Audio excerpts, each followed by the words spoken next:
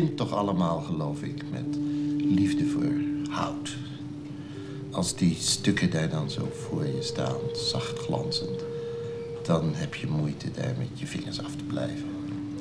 Je mag er niet aankomen, dat is de eerste regel. Want als je eraan komt, dan telt het geraakt, geschaakt. Dat is een vrede regel. En het eigenaardige is dan ook dat als je het stuk aanraakt... dat er dan ineens een totaal andere toestand op, optreedt... waardoor je ineens alles ziet. Je hebt soms een half uur lang gedacht. Je hebt alle mogelijkheden heb je in aanmerking genomen, denk je. Maar op het ogenblik dat je het stuk aanraakt waarmee je wilt gaan spelen... op dat ogenblik zie je ineens nog iets wat je nou juist de hele tijd over het hoofd had gezien. Ik heb dat ook wel eens meegemaakt. Dat een tegenstander een zet speelde. Vreselijk begon te beven, rood aanliep, het stuk liet vallen, alsof het elektrisch geladen was. Snel om zich heen keek of iemand het opgemerkt had. Ik had het natuurlijk gezien, maar ja, de wedstrijdleider die was weer geen velden of wegen te bekennen. En toen uh, een onschuldig gezicht trok en deed alsof hij uh, maar zo'n bevende stukken zo even rechtgezet had. Dit was een betoog van de Nederlandse grootmeester Hein Donner, die tien jaar geleden overleed. Donner was een romanticus in leven en in schaken. Hij was een bohemien, een kunstenaar. Tegenwoordig is schaken meer topsport. Van Donner vonden we nog een verhelderend betoog over het denken van de schaken. Dit fragment werd nog niet eerder uitgezonden. Daarom waar je nou eigenlijk over denkt, dat is niet zo makkelijk te zeggen. Wat denken eigenlijk is, dat wordt mij steeds onduidelijker naarmate ik er meer over denk. Een soort voelen van prettig of onprettig. Dit bevalt me wel. In die hoek ziet het er niet kosher uit. Uh, dat daar, dat hoort daar niet. Uh, maar dat daar, dat hoort er nou juist wel helemaal daar precies te staan. Daar moet ik dus afblijven. Dat is meer de manier waarop het gaat. Het is meer een, een ruiken. Het is een, een, een, een spoor zoeken op geuren alleen. Denken is eigenlijk niet helemaal precies de nauwkeurige omschrijving. Want ja, ook van denken weten we alleen dat het gebeurt uit het resultaat. En dat zal dan, vaak zal dat een verbaal iets zijn, een woord, een zin. Uh, bij schaken is dat nou juist zo uiterst minimaal. Het is maar één zet. Het hele contact met de werkelijkheid is zo klein dat het, de abstractie van het spel zo groot is dat je nauwelijks meer van echt denken kunt spreken. Maar juist in dat ene moment van het aanraken van het stuk zelf, daarin gebeurt eigenlijk het hele spel. En dat is het, het elektrificerend moment. Het moment waar absoluut alles omdraait. En dat is dan, in dit geval, is dat de enige zet die verder in aanmerking komt. De zet C4, C3 voor zwart. Ik doe hem nu voor zwart, omdat ik aan deze stelling voor wit, waarin ik tijd wit had, niet eens aan de stukken zou willen komen. Omdat dat de, de, de, partij als het ware zou herhalen op een manier die ik niet te pas vind komen. Voor zwart wil ik de zet doen en hier heb ik dan vervolgens de kwaliteit geofferd en het stuk geofferd en de partij tamelijk mooi gewonnen.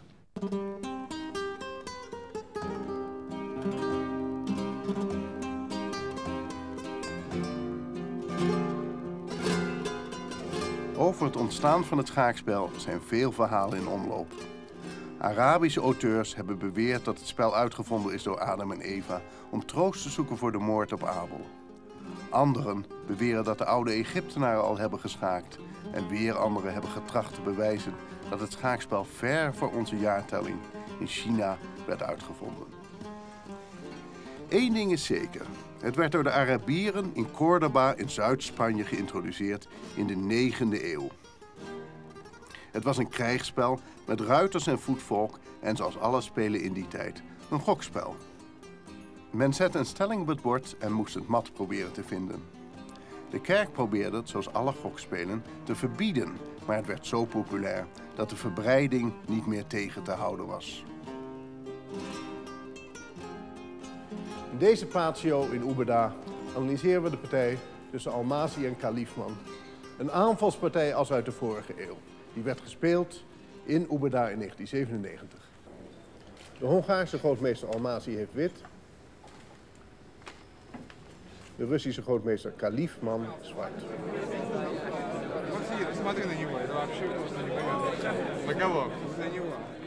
Wit begint met E2, E4.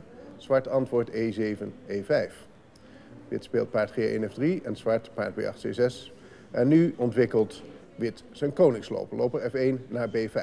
En daarmee is de Spaanse opening ontstaan. De Spaanse opening heet zo omdat hij genoemd is naar Ruy Lopez, een bisschop, afgezant van Philips II. Zwart speelt A7, A6, dwingt die loper tot een verklaring en die loper wordt teruggetrokken door loper B5 naar A4. Zwart ontwikkelt zijn andere paard, paard G8 of 6 en wit blokkeert. En zwart speelt loper F8, E7. Daarmee is het gesloten Spaans ontstaan. Het gesloten Spaans wordt hierdoor gekarakteriseerd en dus in tegenstelling tot de zet paard F6 maal E4, waarmee het open Spaans zou ontstaan. Dat gesloten Spaans betekent overigens helemaal niet dat de partij gesloten zal blijven. Dat zullen we in deze partij zien. Wit speelt toorn F1, E1. Zwart speelt B7, B5. Wit lopen A4, B3. En zwart speelt rokade. Wit doet C2, C3 en bereidt de bezetting van het centrum voor door D2, D4. Maar zwart is hem voor en speelt D7, D5 en leidt daarmee de Marshall-variant in. Deze variant is genoemd naar Frank Marshall, de Amerikaanse grootmeester. Zwart heeft dus een pion ervoor over om als eerste het centrum te bezetten en zo actief mogelijk stukken spel te krijgen en ook een voorsprong en ontwikkeling. Wit speelt E4 slaat D5 en zwart slaat terug, paard F6 slaat D5. Wit moet nu ook de pion op E5 slaan, paard F3 slaat E5. Zwart speelt paard C6 slaat E5, wit speelt toorn E1 slaat E5 en zwart speelt C7 C6. Dat is de moderne zet. Marshall's oorspronkelijke idee was paard F6, paard naar F6 terug, om dan met dat paard verder naar G4 uit te vallen en op die manier een aanval op touw te zetten. In de beroemde partij tussen Capablanca en Marshall uit New York 1918 werd dit idee voor het eerst geprobeerd, maar Capablanca die wist het toen al te weerleggen. En die weerlegging is eigenlijk nooit weerlegd. Dus die moderne zet C6 is sindsdien door iedereen gespeeld. De bedoeling is dat zwart zijn paard op D5 handhaafde, die uh, centrale positie. Daarnaast wil hij zijn lopers ontwikkelen. De ene loper gaat naar D6 en die andere gaat naar B7 of naar G4. Al zijn stukken komen heel goed tot ontplooiing. Het gaat er niet om dat hij direct op aanval speelt, maar hij wil zo snel mogelijk al zijn stukken naar actieve velden brengen. De Marshall-variant wordt door de huidige theorie als zeer gunstig voor zwart beoordeeld. Tekenen dus ook dat Kasparov al op de achtste set pleegt af te wijken met wit. Hij speelt dan geen C2, C3, maar een andere set. Iets als H2, H3 of soms A2, A4. In ieder geval, hij heeft nooit blijkbaar een methode voor wit gevonden om openingsvoordeel te bereiken. De partij ging het als volgt. Wit speelt D2, D3, een beetje terughoudende zet. De hoofdvariant is D2, D4, waarmee wit iets meer invloed in het centrum krijgt. En ik denk ook iets betere kansen op openingsvoordeel. Zwart speelt loper E7, D6 dwingt die toren tot de terugtocht. Wit speelt toren E5 naar E1. Zwart valt uit met zijn dame, dame D8 naar H4 en dwingt de verzwakking af van de witte koningsstelling. Wit moet zijn koningsstelling door G2, G3 verzwakken. Zwart speelt dame H4, H3. Die dame is nu in een dreigende positie.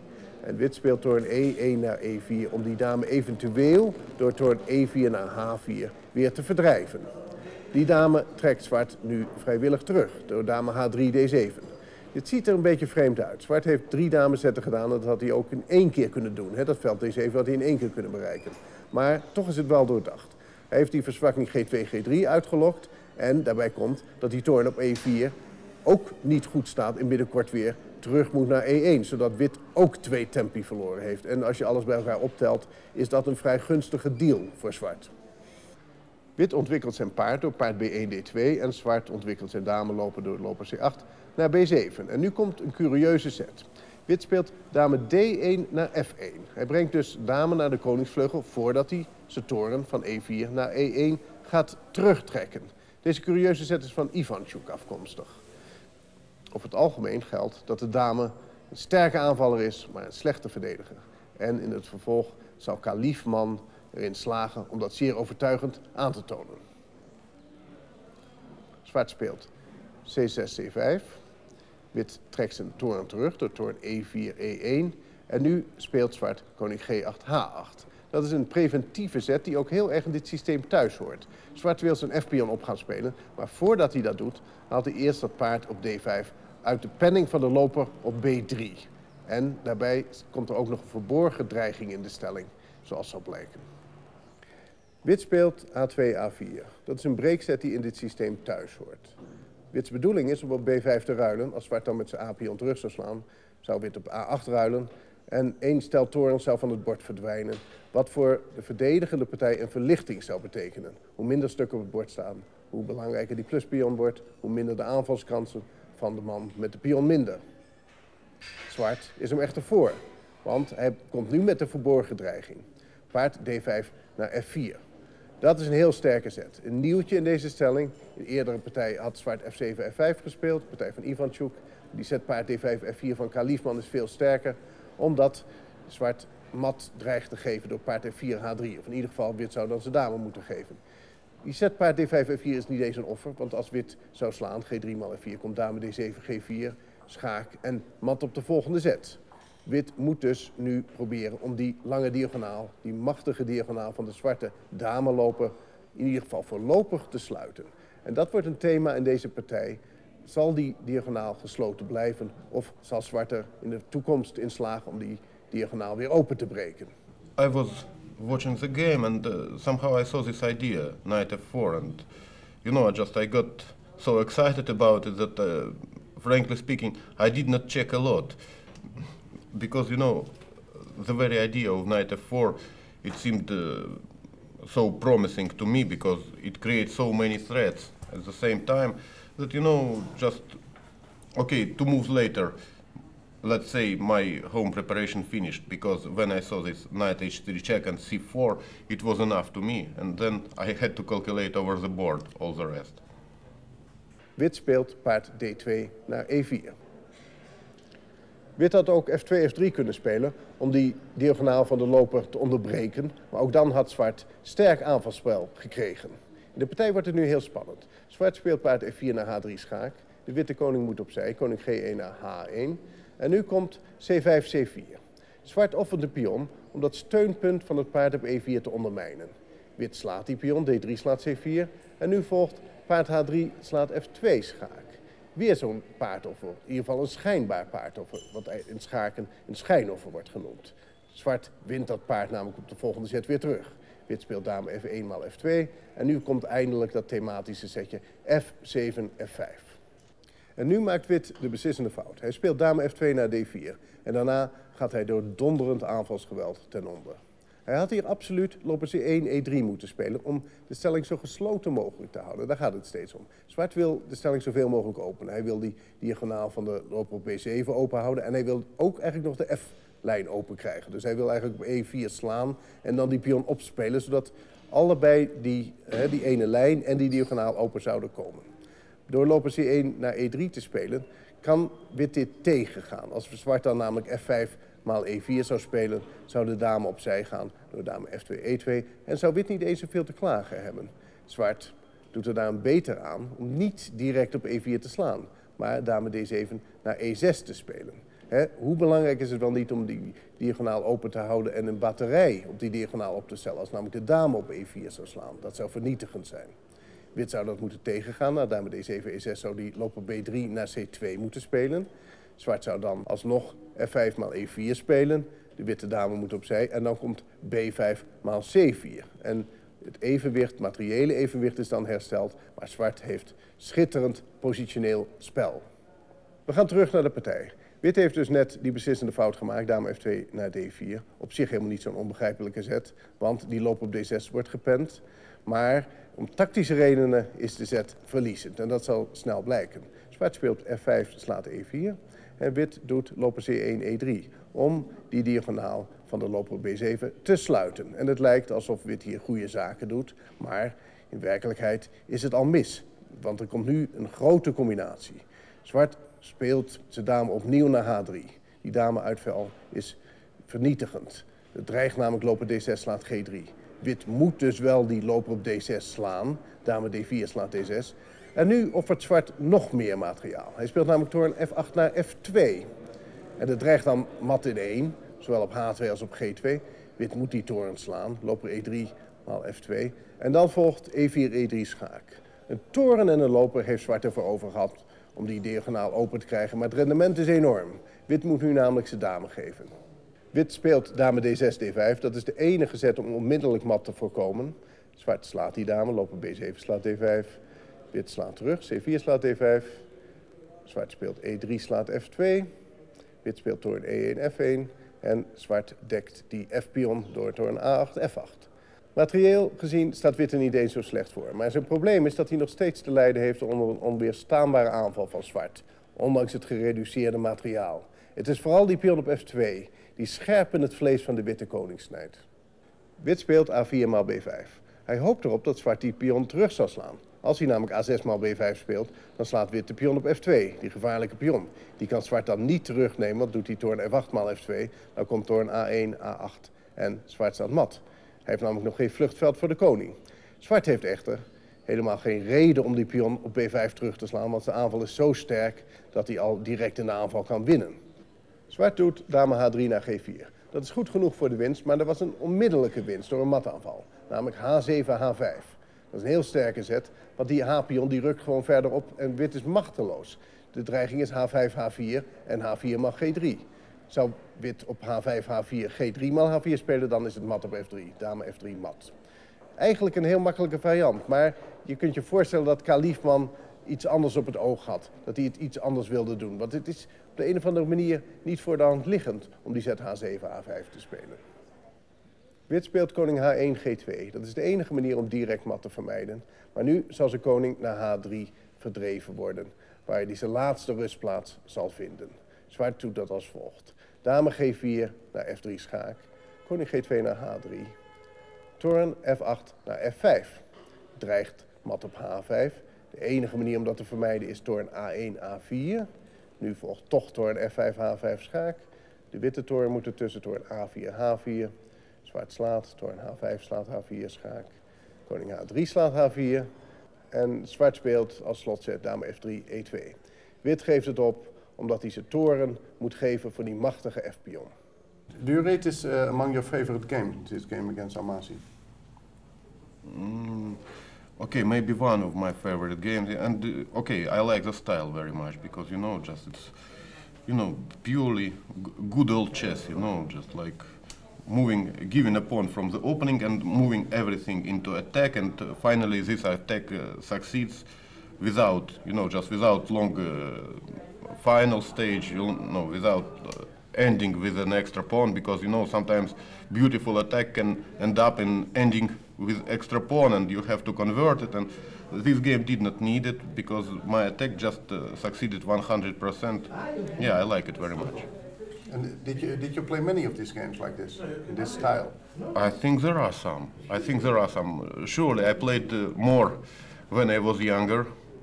Yeah and uh, but also you know just when my opponents were weaker.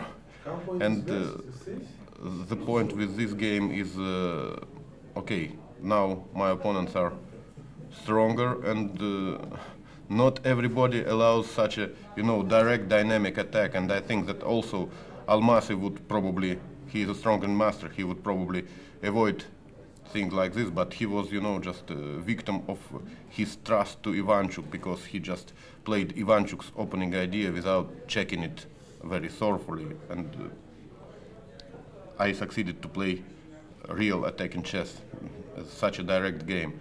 You know, now it's not so easy to play like this.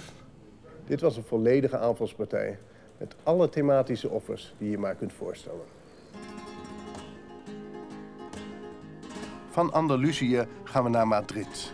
naar het huis van Ricardo Calvo, internationaal schaakmeester, maar tegenwoordig vooral schaakhistoricus. Hij geeft een tijdschrift uit over de schaakgeschiedenis en heeft een bijzondere collectie schaakboeken.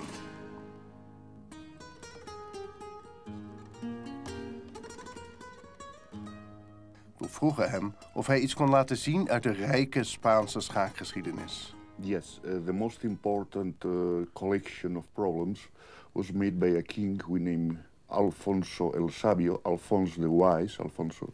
It was uh, compiled in Sevilla in 1283. I can show you. This is, well, this is a reproduction. You can appreciate Arabs, Jews, Christians, everyone Aha, playing yeah. chess. There are black chess players, women. This is the most famous book. This is a, a unique uh, treasure for, uh, for humanity because all Arabic mat- material is compiled here. You can even see uh, not only normal chess, most of the book is dedicated to chess. And exactly the part dedicated to chess are 64 pages, as many pages as cases has the chessboard. So the chess part finishes here in the part 64. I am. And you see a Christian and Arab, and they are uh, symbolically playing for peace because you can see the weapons are outside. I see, yeah. Hmm? This is a message that chess is war without bloodshed. Aha. I spent a lot of time with uh, this book, but uh, I will show you some things. Let me. For instance, always a finger points uh, the solution of the problem. This particular problem, the first move is knight from here to h5, and he's pointing at the knight who is the first piece uh, moving there. Well, this position with the ring, this this one, this is very beautiful. It's uh, a man and, and uh, a, couple of lovers, and she is giving him the ring. So uh, the the bet uh, in chess was just the love. Probably she was married and the man was outside, but in any case, the image is very interesting. And the position as well, because it is a famous Arabic problem. It's beautiful because uh, uh, it is a mat in three. Tiemann knows much better, but if you look at the diagram, the solution is knight here, check. He takes with the rook, and then rook takes knight, king takes, and rook here mate. It is uh, a famous Arabic problem. Some of the figures can be identified. The most interesting, I think I have identified recently as uh, King Edward I of England, who married with a sister of Alfonso Wise. He was blonde, and he can be identified because he had a drop in his left eye.